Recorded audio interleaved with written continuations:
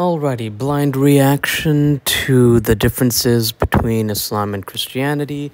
Skipped a little bit of the boring intro part. I mean, for you guys, I actually watched it, and now I will give my commentary as an Ahmadi Muslim. Let's begin. We got a lot to talk about in this episode. When we first look at Christianity, Christianity consists of people who believe in the deity Jesus Christ. Christians, generally speaking, believe Christ is the Son of God and walked on earth as the incarnate form of God the Father. So, in other words, they believe that Jesus was God in the flesh. It which Islam disagrees with. He was a prophet, not an incarnation of God. Let's see what uh, this guy says. Islam is made up of individuals who believe in the deity Allah, which is just the Arabic word for God. They believe that Allah's teachings were. I love the distinction there. It's just the Arabic word for God, not a different God. Judaism, Christianity, and uh, Muslims are Abrahamic faiths, which he uh, mentioned earlier, and they all believe in a single God. Therefore, God and Allah are the same person, I mean, being, simply different words from different languages, meaning that a high power, or the high power, I should say. Recorded word for word by God's last prophet named Muhammad. Currently, Islam is the. Sallallahu Alaihi Uh, even if I butchered that, it translates to peace and blessings of God. Muslims usually say this every time they hear the name or say uh, the Prophet Muhammad. Or you can just shorten it to SAW, S A W, usually in texts second largest religion in the entire world after Christianity. And based on the latest estimates, the current global population of Christianity sits at 2.3 billion followers, which is 31% of the total population of the world. Islam follows behind at 1.8 billion followers. Sounds about right, but the question is how many people truly practice the Bible and really believe in the faiths, or were just born into parents that call themselves Christian yet do none of the practices themselves. Anyway, that's a whole nother topic. Which works out to be approximately 24% of the entire global population. So as you can see, these two religions, of course, have played a huge role in shaping what we know to be human history. Because look, look at this, this is half of the population here fall in between these two religions. Now, when yep. we look at when these two religions were formed as organized religions, Islam takes us back to 610 to 622 CE. Christianity, on the other hand, was established as an organized religion in 28 to 33 CE, which was centuries before Islam. So we hear the terms Christian, Christianity, and all of that. So what does Christian actually mean? If someone calls himself a Christian, what are they saying? Well, Christian simply means a believer believer in Christianity, which is someone that follows the teachings of Christ. Very simple. Now, Islam means submission. Whether it's true or not, uh, I heard somewhere that apparently um, it was actually the enemies of Jesus Christ that referred to his followers as Christians, and he himself didn't actually call his followers that. Uh, that may or may not be true, but regardless, nowadays, people that believe in Christ are pretty much known as Christians. So whether it was an insult or genuine doesn't really matter uh, nowadays. To the will of God. And those who submit to the will of God are called Muslims. When it comes to the place of worship, where do Christians go to worship? Well, of course, we know of churches. There's also chapels, cathedrals, basilicas, as well as Christians are allowed to worship in homes and any other living spaces. Muslim Cool. I mainly knew about churches, uh, and I've heard of chapels and stuff, but I actually didn't know much about that. Cool, I'm learning worship at mosques, aka masjids, and any other place considered clean by Islamic standards. So it's pretty open. There's not necessarily a specific place that you have to go to worship. Both. Yeah, even back in the day, people would take uh, their prayer mats or janmaze, and uh, just you could pray anywhere. So you know if they were outside, you know, traveling or something, you know, even if the floor is a little dirty, you just pull out the mat and you pray on the clean mat. Religions are pretty open. One of the main differences between these religions is the doctrine of the Trinity. The Trinity or the Godhead is one of the core beliefs of Christianity, and it states that there is one God who has three manifestations the Father, the Son, as well as the Holy Spirit. And I kind of like to use this example, it's not really the best, but you got to think of it like a, a corporation who has three founders. And all of the three founders have different roles, but under the same umbrella corporation.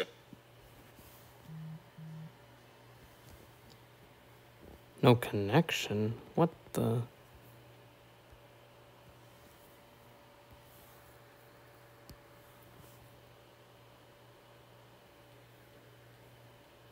Okay.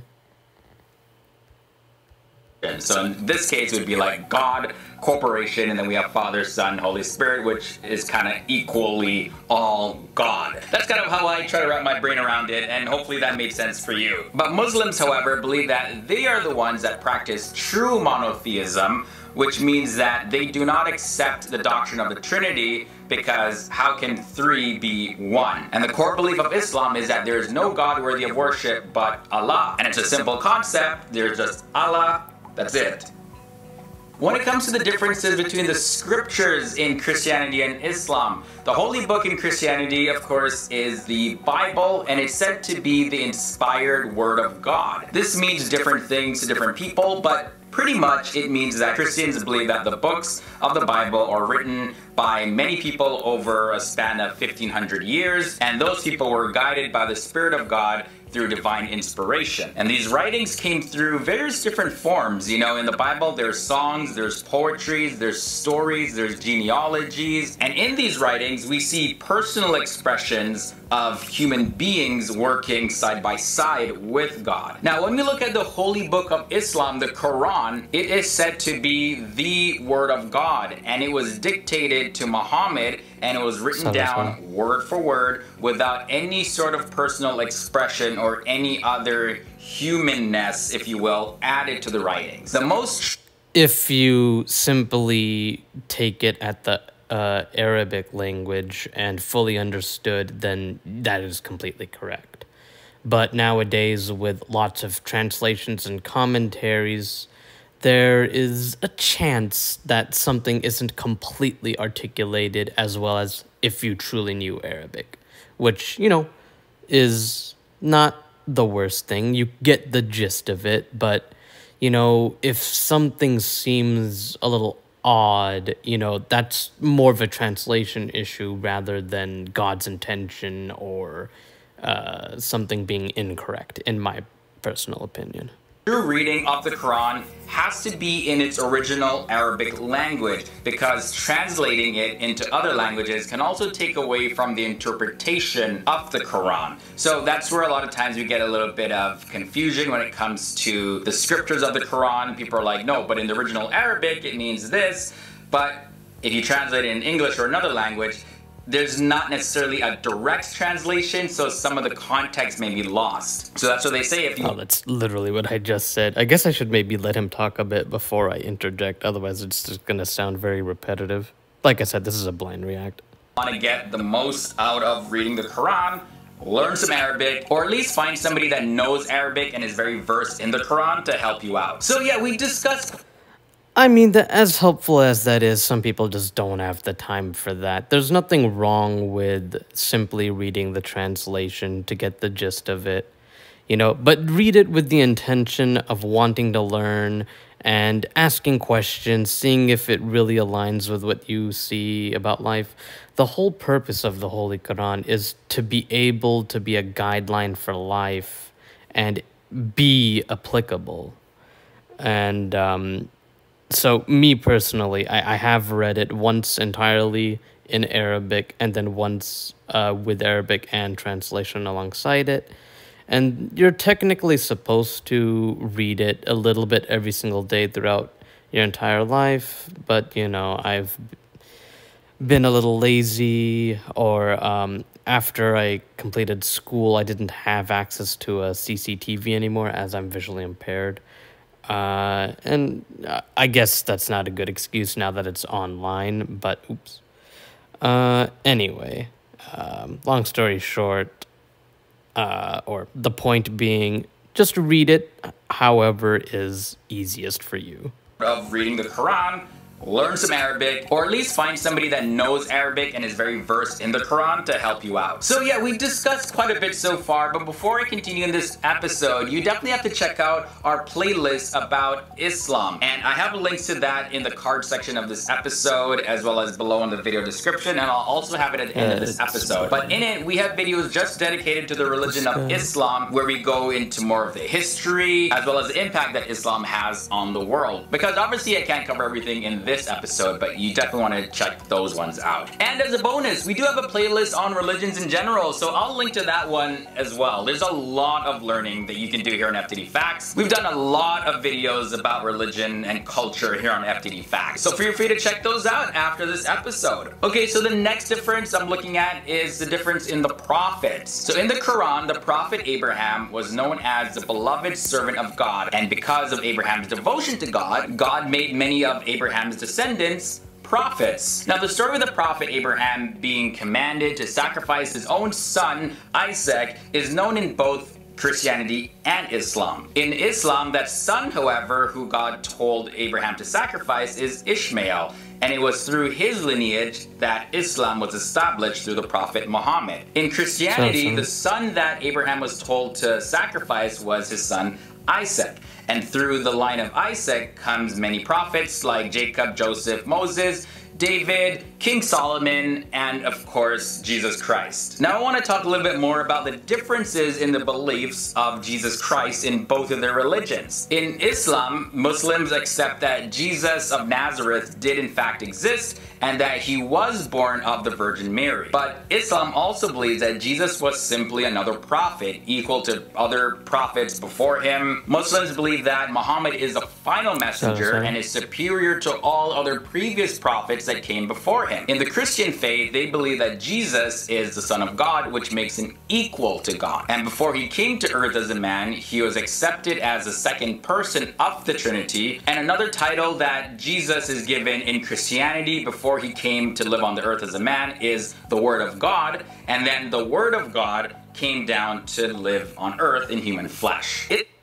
so uh, that's something about Islam and Muslims. Uh, we believe that God is eternal, all powerful, has no children, and nothing came before him, nothing will come after him, like as far as like successors or anything. He is, or yeah, the eternal.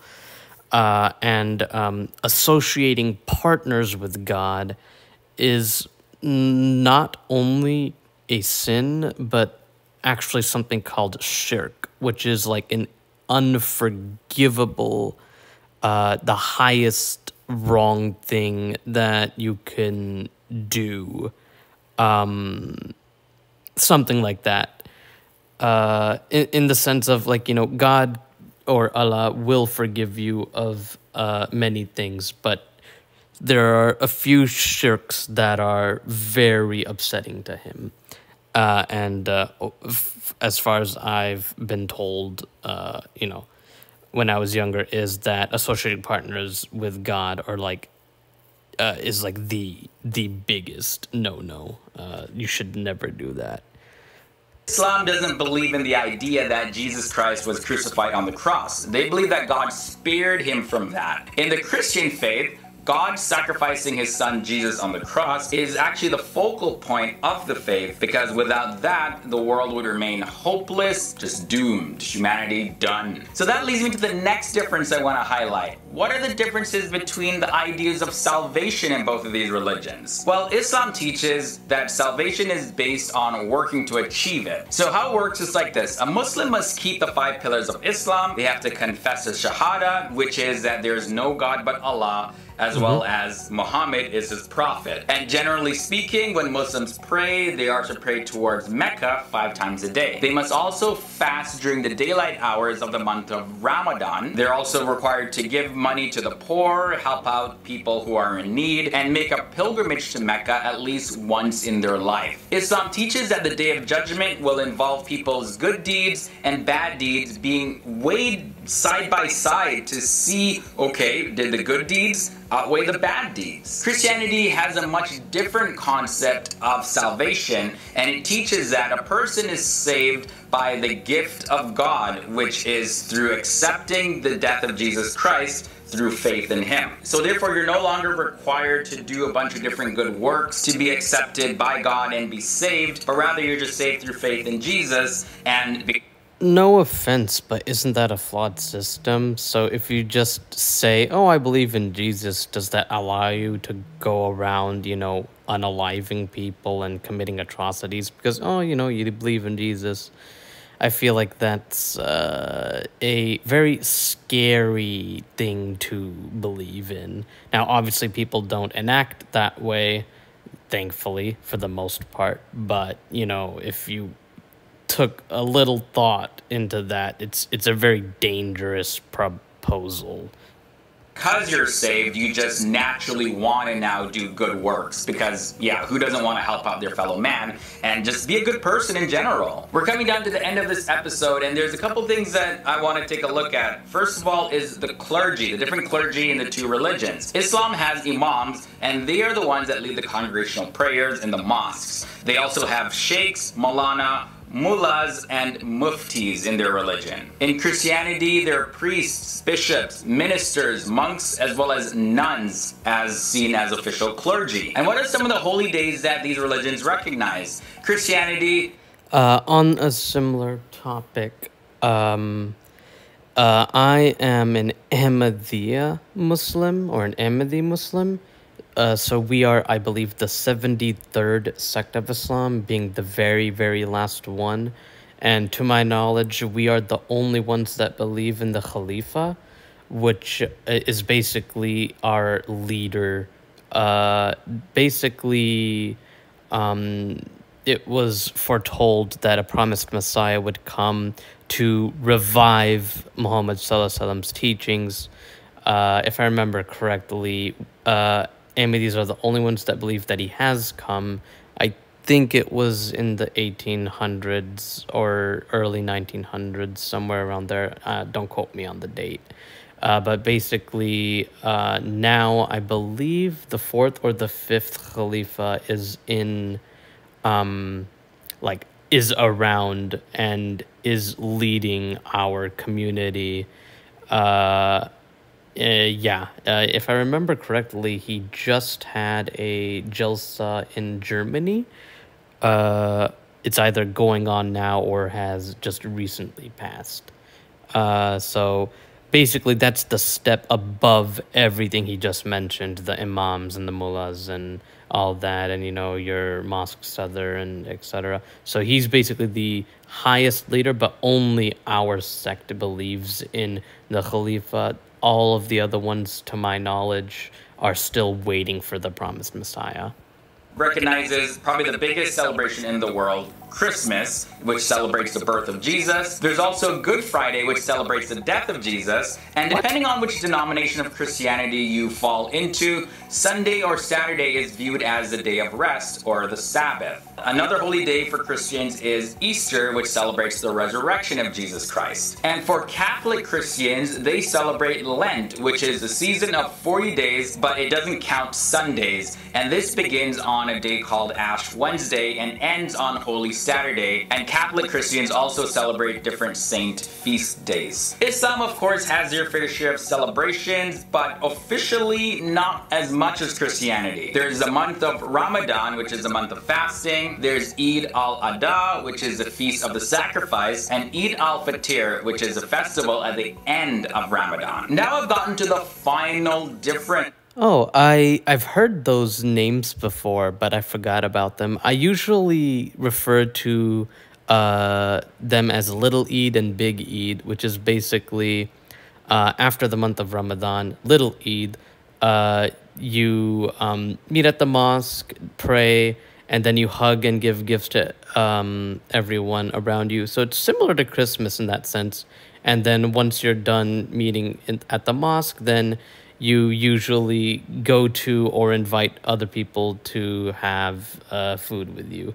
Uh, I don't know if that is part of the um, the religious holiday itself, or if that's just what people decided to do because they were all free that day anyway. You usually take school or work off on uh, Eids. And then the other Eid is the one where you sacrifice a goat uh, and eat it in honor of the story he was saying, I think, of Isaac or Ishmael or something like that. I get the names mixed up. I need to brush up, and that's actually what I'm doing and why I'm watching and trying to uh, reintroduce uh, knowledge about my and other people's religion to be better informed.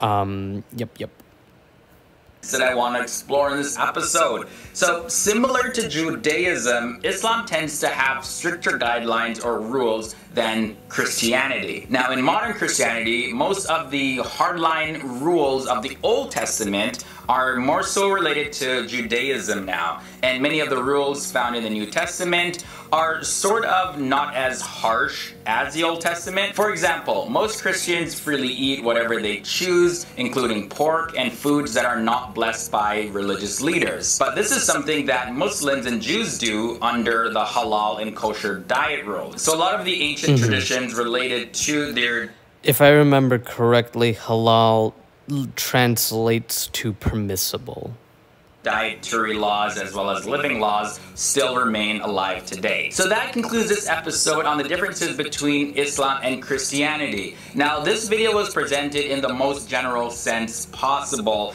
I know that Christianity and Islam has various different schools of thought and different denominations and all of that, which may have completely different views to anything I just shared in this episode. But for the most part, this is a general views and general differences between Islam and Christianity. So if you have any thoughts or comments about what I shared in this episode, feel free to leave them down below. I love the discussions that we have here on FTD Facts because not only do I get to learn, but we all get to learn together as a community. You can follow me on social media as well. Those links are below in this video description. So shoot me a message and I'll do my best to reply I'll to link this original video in mine. Until the next episode, stay awesome, stay educated, and you know, one love. My name is Leroy Kenton, and I'll see you soon. Awesome. And yeah, as he was saying, he uh, was speaking very generally. Obviously, he didn't go into the details of every single uh, sect, denomination, and every single one of their beliefs.